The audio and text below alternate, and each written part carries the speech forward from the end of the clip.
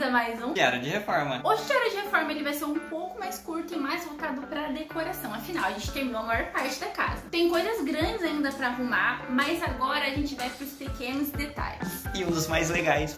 E aproveitando essa camiseta maravilhosa, a gente terminou ontem de assistir Friends, finalmente. Agora eu preciso me retratar. Estou triste. Quem, quem é fã do canal aí há mais tempo sabe que eu não gostava muito de Friends e aqui cá estou, né? Cá estou com blusinha de Friends. E o começo foi difícil, confesso, não foi fácil de assistir, mas logo me apaixonei pelos personagens e enfim. Ah, a série é muito Tô boa. triste porque acabou. E não poderia faltar uma homenagem a essa série aqui na nossa casa. Cheia de referências geeks e nerds. E também já mostrar algumas coisas que a gente vai colocar na cozinha. Mas antes de ir pra lá, eu queria dizer que a gente conseguiu comprar as molduras dos nossos quadros. Gente, olha, ô coisa cara, hein? Se vocês querem fazer uma parede cheia de pôster, coisas geeks aí Pensa bem, na sua vai uma casa. boa graninha. Gente, é muito caro. Não pensei que moldura fosse tão caro assim. Mas aqui na nossa cidade a gente deu sorte que abriu uma loja que chama Mac Store, fica a dica pra quem é de Bauru. E lá tem molduras em tamanho A4 e a 3. 4 e a 3, né? Que são as maiorias dos que a gente conseguiu, são desse tamanho e foi a nossa sorte. A gente vai mostrar, a gente não vai colocar eles hoje, mas sim no próximo diário de reforma, tá? Mas a gente já vai dar um spoiler aqui pra vocês. Nós compramos essa moldura aqui, ó, pretinha em volta, no tamanho A4. A4 é o sulfite? Tá. Uma branquinha. Porque essa branquinha aqui nós vamos pintar ela de amarelo. A gente já comprou o spray, que é esse daqui. Então vamos torcer pra dar certo e ficar bonito. E o tamanho A3 É maior, né? Eles são duas a quatro. Então se você pegar ele aqui, ó, e colocar esses dois pequenininhos aqui, Gente, ó, explodiu minha mente quando eu descobri isso. Que Ele uma. Exatamente o tamanho de duas folhas sulfite é a é uma 3. três. Isso. A gente fez a mesma coisa. A gente comprou ele na moldurinha preta e na moldura branca que a gente vai pensar se a gente vai pintar todos esses brancos de amarelo ou vai deixar algum branco ou outro amarelo. Mas talvez a gente pinte tudo porque a gente colocou eles em frente ali a nossa parede de olhinho, ele sumiu bastante. E a gente viu em algumas imagens, enfim, pesquisou bastante. O amarelo fica muito bonito na parede e tem detalhes amarelo aqui na nossa casa, então acho que pode ser uma boa. Importante, até uma dica. Se você não quer furar a sua parede, às vezes você mora numa casa de aluguel e não pode ficar furando a parede, a gente não vai furar porque a gente não quer estragar os nossos tijolinhos que são muito lindos. A gente comprou essa fita 3M dupla face para poder pendurar os quadros. Olha, até parece que a gente tá de novo na casa dos seus pais, amor. Olha a Belinha dando show, que maravilha. Belinha é cachorrinha da nossa vizinha, tá, gente? Só- Enfim, aí explica, amor, que tem um peso específico. Também não adianta É. comprar essa fita e comprar que, aquelas que não aguentam nada, tá? Então essa daqui, ó, a cada 15 centímetros ela aguenta 800 gramas. Então se você fizer as contas, eu vou colocar uma em cada lado, ela vai aguentar tranquilo. Mas tem umas que aguentam até 15 quilos. 15 não, perdão, até 5 quilos por 15 centímetros, então é muito peso. Eu só tô com medo dela não fixar tão bem por conta do tijolinho ser poroso, que ele fica soltando uns pozinhos. Mas diz que segura, então vamos ver. E aqui a gente já tem um quadro com um print colocado para mostrar pra vocês como que vai ficar. Que é o da Sabrina, olha só que lindo que ficou. Ficou perfeito. O arte do Two Minds que a gente pegou lá na Comic Con. E assim, um mega do spoiler. a gente demorou bastante pra definir a configuração de quadros, é isso? Sim. Que tem alguma dica pra dar? O ideal é colocar o no chão, né? Fotos, você já colocar cada um no quadro bonitinho, aí você coloca no chão e vai tentando montar uma configuração. Porque, um exemplo, algumas imagens elas são um pouco mais pesadas do que as outras. Que eu quero dizer de pesado? Tipo esse da Sabrina, um vermelho, é bem carregado. Então, se você colocar um desse na parte de cima e um outro carregado em cima, vai ficar muito pesado, tudo de um lado só. Então, você tem que ir tentando jogar esse equilíbrio nas cores para poder montar uma configuração melhor. Quase um quebra-cabeça, né? Enfim, a gente chegou a duas definições de quadros, mas ainda faltam algumas artes pra gente pegar, porque elas são na horizontal e a maioria que a gente tem na vertical, então a gente precisa definir E uma isso. dica muito importante. Se você não tem ideia alguma de como posicionar os seus quadros, tem uma dica muito importante. Entra no Pinterest e coloca lá posicionamento de quadros, que ele vai te dar várias opções para você poder ter um início da onde você pode começar. E se você quer começar do zero, não tem print, eu acho até melhor. Pesquisa a configuração que você gosta pra depois sair procurando lá na Comic Con os prints e os posters que você quer. Por quê? Um problema nosso é que a maioria dos nossos está na vertical, que é o que fica em pezinho. E para você montar uma configuração legal, você tem que ter algumas imagens na horizontal. E a gente quase não tem nenhuma. É, então vocês vão ver melhor desse desafio aí nosso em montar os quadros no próximo Diário de reforma, mas eu já queria adiantar pra vocês o que tá por vir. E saiu pra quem é de Bauru, se alguém quiser, a- essa é a... Essa é a 3. A 4, no Sufit, 18 reais. E a A3 foi 25. reais. Foi o mais barato que a gente encontrou. Porque a gente tinha feito um orçamento há um tempo atrás. Essa quantidade aqui ia ficar uns 400, 500 reais. Eu achei muito caro. Então essa foi a melhor opção que encontramos. Vamos agora colocar um item muito importante aqui na nossa casa que vocês devem imaginar o que é. A nossa moldura de frame. Um item muito importante pra gente poder colocar isso aqui de forma... Que fizesse mais sentido e ficasse mais bonito. Ah, é isso? Pra poder ficar centralizado, bonitinho pra quem tem toque. Essa maravilhosa régua. Não, eu ia comentar, por isso que ficou confuso o que eu falei, achei que a gente ia comentar a mesma coisa. Não veio com o olho mágico aqui. Ah, A tá. gente colocou um olho mágico. Meninas, tudo bom? falar coisas do bastidores. Como a porta não tinha o olho mágico, quando o marceneiro veio colocar a prateleira, eu pedi pra ele furar pra mim. Só que quando ele foi usar a ferramenta adequada pra poder furar, essa porta aqui é oca. Que ele ligou, a maquininha dele deu uma puxada pro lado e aí fez um buraco maior do que deveria. Então essa arruela em volta aqui foi uma forma que eu consegui assim esconder o buraco que ele fez, porque o olho mágico não foi suficiente, porque o buraco ficou maior do que o olho mágico. Nossa, eu de verdade Então- jamais pensaria numa coisa dessa, só o Gabriel mesmo. A Gabriela até deu uma leve desesperadinha porque não tinha muito o que esconder. Parece que é do olho mágico, mas não é. Então, ó, a gente vai ter que deixar ela aqui bem no centro. Quer que eu segure pra você? Eu acho que é bom pegar um lápis. Um lápis? Marcar. Tá bom. Vamos achar um lápis. Olha, gente, que bonitinho. A gente comprou um purificador de ar e uma vela de cheirinho. Enfim, bem vibes natural.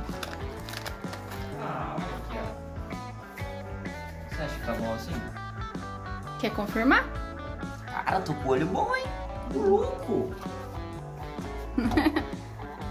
Esse daqui é legal que ele já vem com uma fita 3M atrás pra poder colar, então não precisa furar também. Geralmente quando é umas moldurinhas assim, já de decoração que você compra pronto, ele já vem.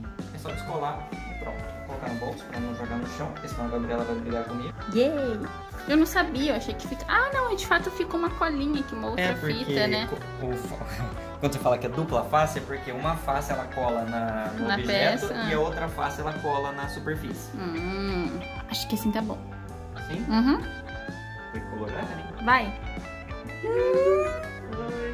Pode pôr. Põe! Hum. Ah, que bonitinho que ficou! Porta de roxo. A gente até pensou em pintar, mas a gente ficou com medo de enjoar, porque ela é bem de frente ali, ó.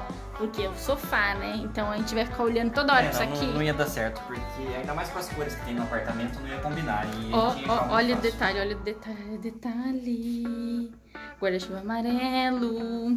Ah, que perfeito. E tem mais uma coisa que a gente vai montar aqui na nossa cozinha. E o Gabriel, com toque, tá, tá com medo de ter colado torto. Mas, enfim, a moldura ela é meio esquisita mesmo. Mas tá certo. É, aquela é meio arredondada. É, então, parece que ela tá torta. Nossa, ficou. Ficou um charme. Agora a gente vai colar os temperinhos aqui na cozinha que a gente queria gravar pra vocês. Eu acho que a gente já mostrou esse kitzinho que a gente comprou. Ele é só um porta-temperos com imã. E a gente viu em séries, enfim, o pessoal coloca na geladeira.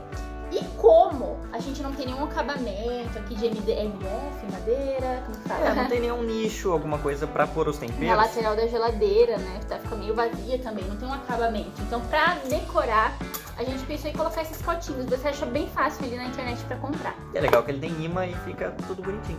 Você vai querer escrever no tampa? Com certeza, porque eu não vou lembrar qual que é o coentro em pó, qual que é o curry, qual que é o... Então vamos lá. Eu gosto de cozinhar, mas eu não vou lembrar o que é o que. E a gente comprou esses temperinhos aqui, ó, já faz um tempo. A gente tem coentro em pó, é, curry, pimenta calabresa, manjericão e chimichurri. E a Gabriela não me deixava usar esses trocinhos aqui enquanto a gente não gravasse o vídeo pra colocar no tempero. Então, Não, eu, quando a gente não. É, tem que mostrar pra galera, né? Eu achei isso aqui tão legal, tão genial, que eu queria compartilhar com vocês. Então, quan- enquanto o vídeo não fosse feito, eu não posso usar esse- esses temperos. Exatamente. Ele é é legal porque na lateral ele tem esses furinhos aqui, que é só você girar a tampinha, ou ele fica aberto no grandão, É, que nem um potinho de temperinho normal. Tem um mais pequenininho, que ou ele aí fica é aberto no pequenininho. Só que aí tem que ver se, um exemplo, essa tampa ela tá um pouquinho frouxa. Eu tenho medo na hora de fazer isso aqui e a tampa sair com o tempero. Então tem que ver se ele vai ser mais bonitinho ou se ele vai ser funcional. Aí. Olha que bonitinho. Aí. Isso é só pra você não se perder, tá? Mas se você não quiser É, porque escrever, tem gente que tá mais acostumado com qual tempero é qual. Então. não é o nosso caso. Eu tenho certeza que se eu colocar, eu não vou saber qual que é o manjericão, qual que é o chimichurri, qual que é o pimenta calabresa, então é melhor eu escrever pra garantido que... Vamos testar ali na geladeira já? Vamos, tá os dois lados, fechado? Então essa é a nossa lateral da geladeira que eu falei que tava vazia, que dava pra fazer alguma coisa. E que a gente gostou muito da ideia dos potinhos magnéticos. É isso. É, Dima. Ai, que medo, porque tá bem cheio, viu? Ai, que bonitinho! Bonitinho! Gostei. Aí fica aqui manjericão e ele fica grudadinho, bonitinho. E a gente volta pra mostrar como vai ficar com todos os temperos. Bora colocar os outros.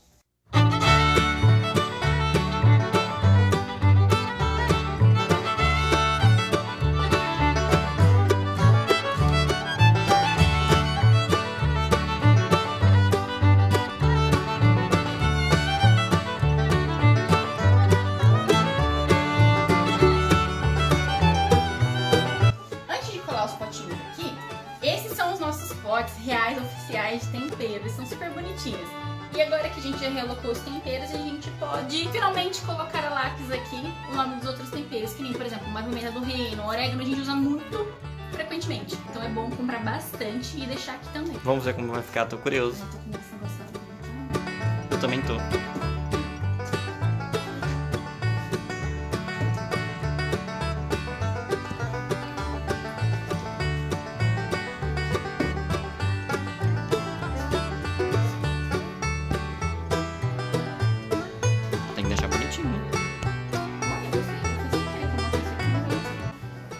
Gostou da configuração? Ficou legal. Ó, então nós temos aqui coentro em pó, chimichurri, curry, orégano, manjericão e pimenta calabresa. Vou pra te falar que eu quero um outro desse pra colocar o resto dos temperos, porque ficou muito bonito. Eu também acho que ficaria legal mais um joguinho desse. Porque aí a gente consegue colocar um bicarbonato de sódio, consegue colocar Noz moscada. noz moscada, consegue colocar sal e consegue colocar Pimenta do reino. Aí ficaria bem bonitinho. E essa lateral ficaria super legal. Então é isso, pessoal. Espero que vocês tenham gostado desse vídeo simples aqui em casa, com pequenos spoilers do que está por vir. Mas eu queria aproveitar que vocês estão aqui no vídeo, que a gente está aqui na cozinha de casa, e pedir para vocês deixarem nos comentários qual deve ser o primeiro vídeo do Cozinha Geek. Sim, a gente comentou que a gente ia fazer receitas de filmes, séries, livros. E a gente quer saber, sei lá, uma cerveja manteigada, um biscoito do Percy Jackson. E aí? Mac and cheese do Todo Mundo Odeia o Chris. que é uma das nossas especialidades. Então, deixa nos comentários. E claro, diz o que você achou dos nossos novos itens aqui em casa. Não esquece de deixar seu like para poder ajudar a gente a divulgar o vídeo. E se não for inscrito, se inscreva e em breve voltamos com o vídeo aí de Comic Con, hein, gente. Abriu, começa a de ingressos, eu tô muito ansiosa. Tem muita coisa legal pra ver, então se inscreva. É isso, pessoal. Valeu, falou e tchau. Uh!